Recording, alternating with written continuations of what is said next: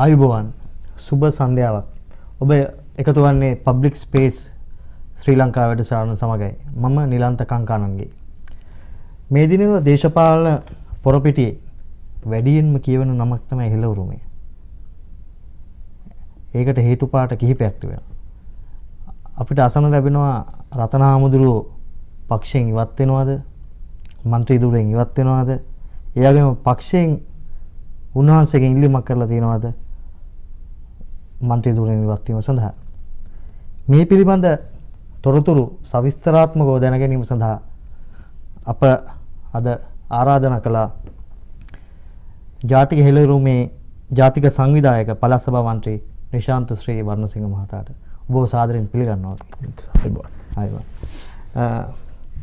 මන්ත්‍රීතුමනි අපේ අපේ සාකච්ඡාව ආරම්භයට මේ මොකද්ද හෙළවරුමේට උනේ?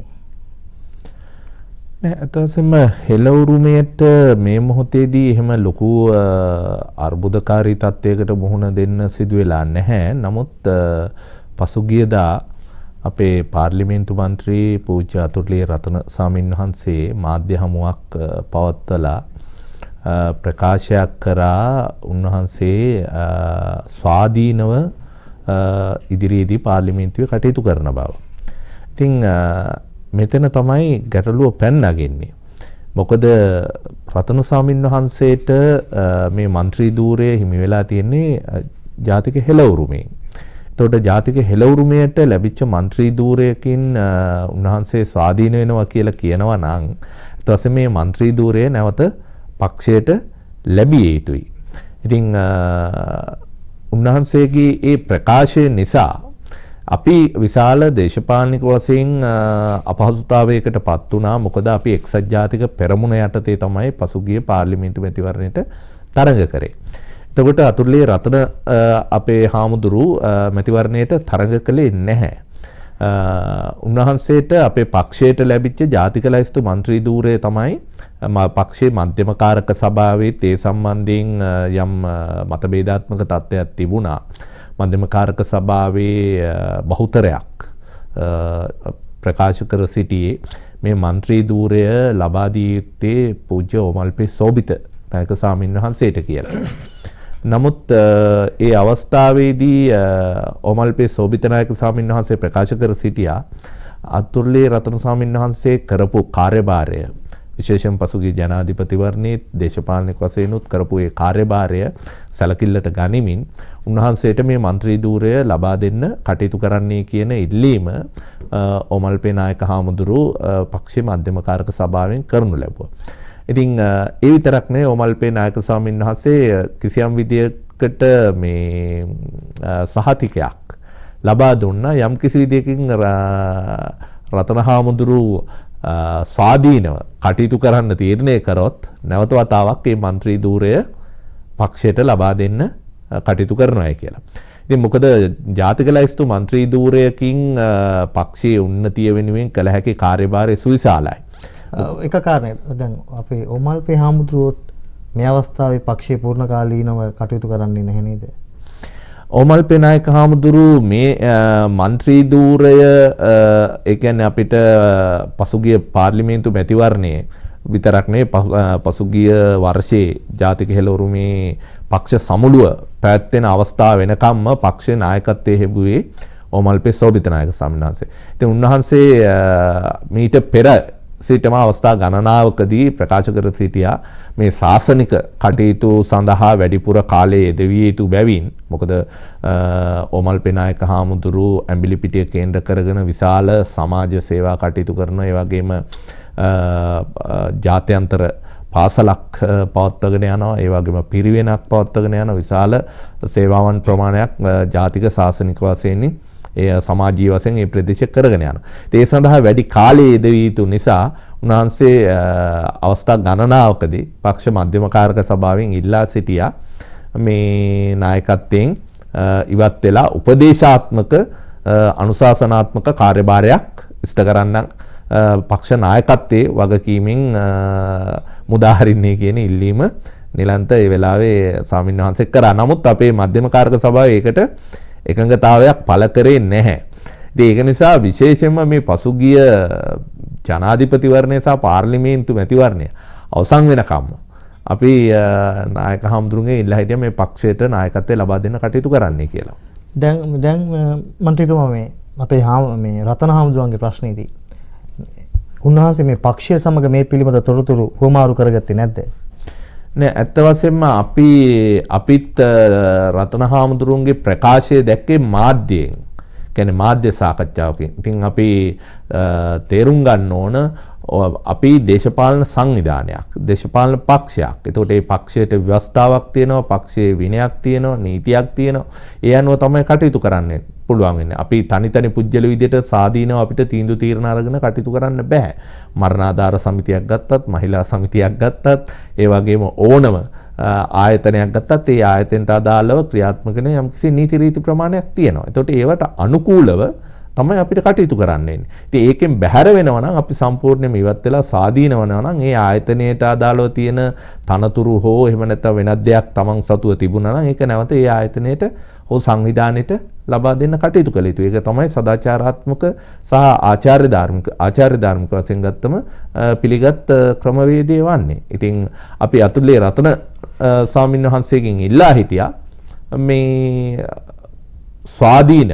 කටයුතු කරනවා නම් ඒක වඩාත් අර්ථාන්විත වෙන්නේ മന്ത്രി ධූරයෙන්ුත් ඉවත් වෙලා මේ മന്ത്രി ධූරය පක්ෂයට ලබා දෙන්න කටයුතු කිරීමෙන් කියලා. ප්‍රතිචාරයක් ලැබිලා තියෙනවා. දැන් මේ පිළිබඳව අපි පක්ෂේ මධ්‍යම කාරක සභාව රැස් වෙලා තීරණයක් ගත්තා. ඒ අනුව පක්ෂයේ ප්‍රධාන ලේකම් අමාත්‍ය පාත්ලි චම්පික රණවක මහතා ලිඛිතව අතුල්ලේ රත්න හාමුදුරන්ට ඒ කියන්නේ මේ ලිපිය බාර දෙන්න කටයුතු කරා.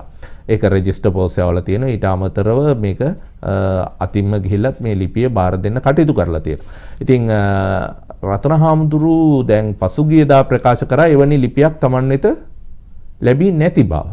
ඉතින් ඇත වශයෙන්ම අපි මේ කාරණය සම්බන්ධයෙන් අපි පක්ෂ අභ්‍යන්තරයේ තමයි මේ අදාළ ලිපිය අපි සකස් කරලා රතන හාමුදුරට ලැබෙන්න සැලැස්වේ ඒක අපි මාධ්‍යවලට ප්‍රසිද්ධ කරේ නැහැ. ඉතිං දැන් රතන හාමුදුරු මෙවැනි ප්‍රකාශයක් කරාම අපිට සිද්ධ වෙනවා මේ අපි නිකුත් කරපු ලිපිය මාධ්‍යවලට නිදහස් කරන්න. ඉතිං මොකද නැත්තං මේක කෞද ඇත්ත කියන කෞද බොරු කියන්නේ කියන එක පිළිබඳ ප්‍රශ්නයක් මතු වෙනවා. ඉති ඒක නිසා කිසියම් විදිකට දැන් අපි හෙට දවසේදී මේ පිළිබඳ මධ්‍යමකාරක සභාව රැස් වෙනවා. රැස් වෙලා ඉදිරියේදී ගත යුතු පියවර සහ ක්‍රියාමාර්ග කුමක්ද කියන එක පිළිබඳව කතා කරන්න බලාපොරොත්තු වෙනවා. ඉතින් අපිට දැනගන්න ලැබුණා පසුගියදා ආණ්ඩු පක්ෂයේ මන්ත්‍රී කණ්ඩායම ජනාධිපති ලේකම් කාර්යාලයේදී රැස් වුණා. ඉතින් ඒ අවස්ථාවට අපේ අතුරුලේ රතන හාමුදුරු වැඩම කර සිටි බව දැනගන්න ලැබුණා. ඉතින් උන්වහන්සේ ස්වාධීන වුණා නම් නැවත වතාවක් කොහොමද මේ ආණ්ඩු පක්ෂයේ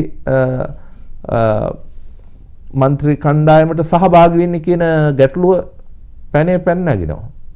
මන්ත්‍රීතුමනි දැන් අපි මේ ඒ ගැටලුව දැන් මේ ආකාරයෙන් බලද්දී අපිට මතකයි මේ මේ ප්‍රවෘත්ති සාකච්ඡාවේදී ස්වාමීන් වහන්සේ පැවසුවේ that ආණ්ඩුවේ ගමන් මාර්ගය පොඩ්ඩක් හිතුවට වැඩිය වෙනස් වෙලා තියෙනවා.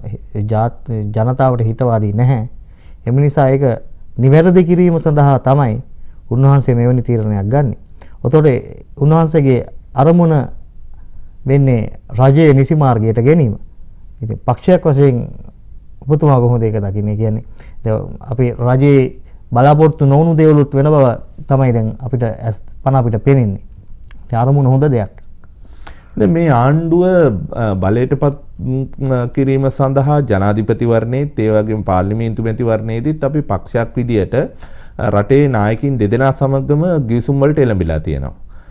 මෛත්‍රපාල සිරිසේන ජනාධිපතිතුමත් එක්කත් අපිට ගිවිසුමක් තියෙනවා. ඒ වගේම ගරු අග්‍රාමාත්‍ය රනිල් වික්‍රමසිංහ මැතිතුමා එක්කත් අපිට ගිවිසුමක් තියෙනවා. එතකොට මේ ගිවිසුම් දෙක තුලම අපි යම් ප්‍රතිපත්තිමය කරුණුත් තියෙනවා.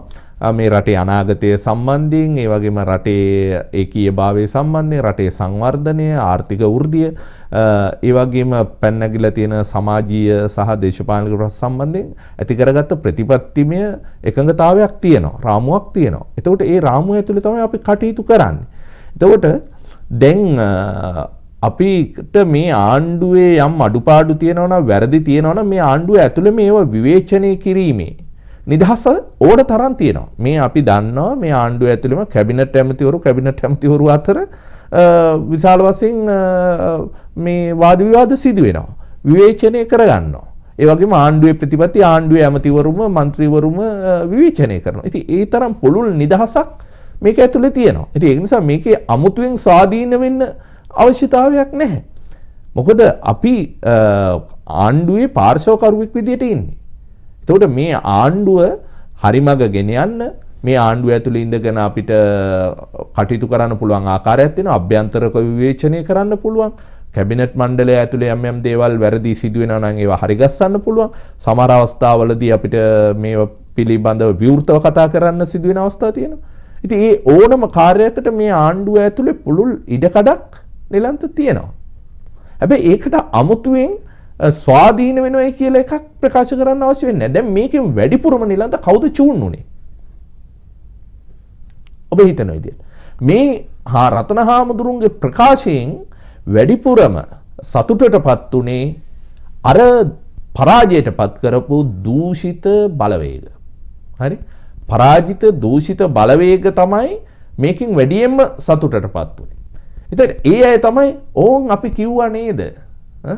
කියලා ඒ රතන හාමුදුරුවන්ගේ මාධ්‍ය හමුවේ කරපු ප්‍රකාශ සියල්ලම අවසාන වශයෙන් ඒකේ දේශපාලනික වශයෙන් ප්‍රයෝජනයක් ගත්තේ අර ඒකාබද්ධ විපක්ෂය ඇතුළු ඒ දූෂිත මහින්ද රාජපක්ෂත් එක්ක හිටගත්ත ඒ කණ්ඩායම තමයි ඒකෙන් ප්‍රයෝජන ගත්තේ. එහෙම නැතුව ජනවාරි 8 වෙනසට දායකත්වයේ දීපු බලවේගය හරි. එහෙම නැත්නම් අගෝස්තු 17 මැතිවරණයෙන් ජයග්‍රහණය කරපු ඒ බලවේග හරි මේකෙන් කිසියම් විදියකට සතුටටපත් වුණාද? නෑ. ඒ කිසියම් විදියකට තිගැස්මක් ඇති වුණා. මොකද්ද මේ රතන හාමුදුරුවන්ගේ ප්‍රකාශයේ අර්ථය කියලා? ඒක දේශපාලනික වශයෙන් ඕනම කෙනෙකුට තේරෙනවා මේ කරපු ප්‍රකාශය තුලින් රතන හාමුදුරුවන් කිසියම් විදියකට දේශපාලනික වශයෙන් උන්වහන්සේට පිළිගැනීමක් තිබුණා නම් ගෞරවයක් තිබුණා නම් ඒක විශාල වශයෙන් හැල්ලුවට ලක්වුණු තත්ත්වයක් සහ අවමානයට ලක්වුණු තත්ත්වයක් තමයි ඇති වුණේ. අපි දැක්කේ නැහැ කවුරුවක්වත් මේ සම්බන්ධයෙන් මේ ජනවාරියට වෙනසට දායකත්ව දායක වෙච්ච බලවේග සිවිල් සංවිධාන බහුජන සංවිධාන ඒ වගේ දැනුගත් සමාජය කවුරුවක්වත් මේක හොඳයි කියන කවුරුවක්වත් ඉස්සරහට ආවේ නැහැ. හැබැයි මේකෙන් අපි දැක්කා විමල් වීරවංශලා ඒ වගේම උදේ ගම්මන් පිල්ල එහෙම නැත්නම් අනිත් ජොන්ස්ටන් ප්‍රාන්දුල මේ වගේ කණ්ඩායම් තමයි මේ වැඩියෙන්ම උද්දාමයටපත් වෙලා මෙන්න තවත් ආණ්ඩුවේ දතක් ගැලවුණා කියලා ප්‍රකාශනකුත් කරමින් ඒ අය තමයි මේක වැඩිම තෘප්තියක් ලැබී සතුටක් ලැබුවේ. ඉතින් ඒක නිසා රතන හාමුදුරු ස්වාධීන වෙනවා කිව්වම දහස් ගණන් මේ රතන හාමුදුරුන්ගේ සදහම් සෙවණට රාජගිරිය සදම් සෙවණට දහස් ගණන් ජනතාව රැස් වෙලා බොහොම හොඳයි හාමුදුරනේ ඔබ වහන්සේත් එක්ක අපි මේ ගමන යන්න සූදානම් කියලා අපිට එහෙම කොතනකවත් වාර්තා වුණේ මිනිස්සු එහෙම ඇවිල්ලා මේ යන් බොහොම හොඳ වැඩසටහනක් අපි දැන් ආණ්ඩුව නිවැරදි කරමු ආණ්ඩුව එක්ක පෙරලලා අලුත් ආණ්ඩුවක් හදමු කියලා කවුරක්වත් එහෙම කියන්න ආවේ නැහැ.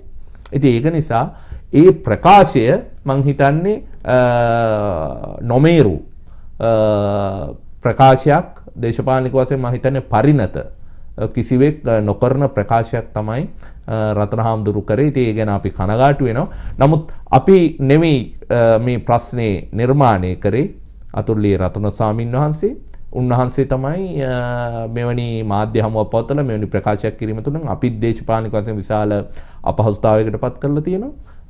දැන් අපිට පක්ෂයක් විදියට අපි විනයානුකූලව කටයුතු කරන පක්ෂයක් අපිට හිතුවක්කාර විදියට දඩබ්බර විදියට තනි තනි පුජ්‍යලයෝ විදියට මමත්වයේ මත මේ තනි පුජ්‍යලයෝන්ට මේ ඔක්කොම වෙනස් කරන්න පුළුවන් කියන තැනක අපි නෑ.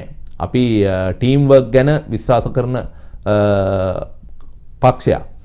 තනි පුද්ගලයොන්ට පුළුවන් කියලා අපි හිතන්නේ.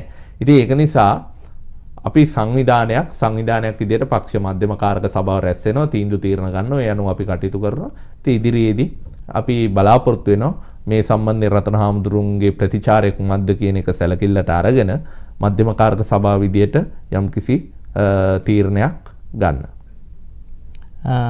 දැන් මම තව එක ප්‍රශ්නයක් ඔබතුමාගෙන් අහන්න. ආණ්ඩුව යන්නේ හරි පීලෙද? අපි සියලු දෙනාම පිළිගන්නවා ආණ්ඩුව හරි පීල්ල යනවද කියලා ඇහුවොත් එකක් ආණ්ඩුව මුහුණ දීලා තියෙන විශාල අර්බුදයක් තියෙනවා. විශාල අර්බුදයක් තියෙනවා. ඒ අර්බුදය තමයි මේ මොහොතේදී අපිට නොපෙනෙන රට ඉස්සරහත් නියමිත පරිමාවෙන් ඉදිරිපත් නොකරන විශාල ආර්ථික අර්බුදයක රට ගිලිලා තියෙනවා.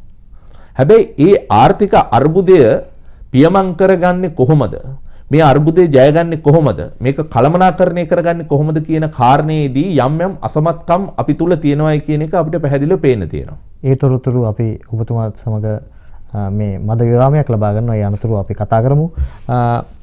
දැන් අප මද විරාමයක් ලබා ගන්නවා. විරාමයෙන් අනතුරු අපි තවදුරටත් සාකච්ඡා කරමු. රටේ ආර්ථිකයට ඇත්තටම මොකද වෙලා තියෙන්නේ කියලා.